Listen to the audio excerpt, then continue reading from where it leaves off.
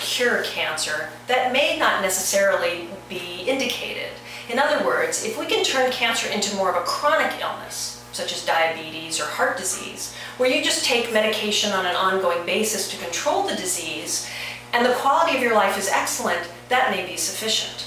There's a new approach in treating cancer patients now called metronomic, or low-dose continuous chemotherapy.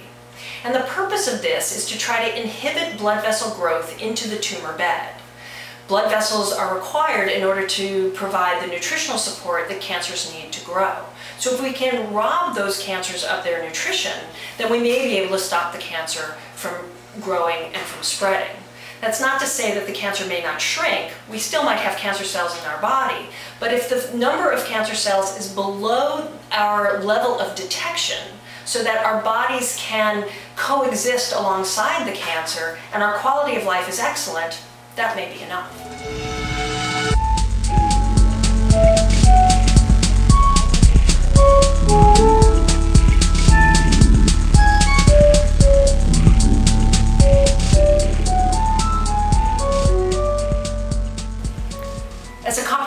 Cancer center, our approach is to come to the cancer patient with as many different modalities or treatment options as we have.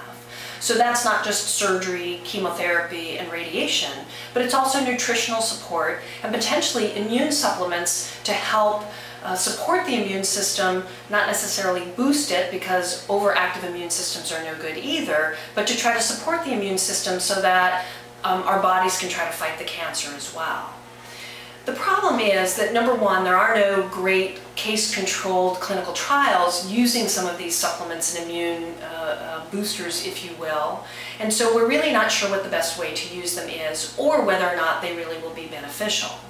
There's some nice work out of the NIH that showed that using um, immune supplements along with chemotherapy or radiation is contradictory because in order for the antioxidants to be effective, excuse me, in order for the chemotherapy to be effective, we can't use antioxidants at the same time.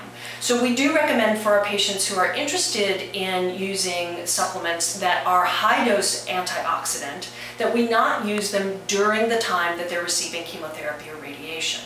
We hope that in the future there will be some elegant studies which will help us pinpoint which supplements we should use and how we best can use them.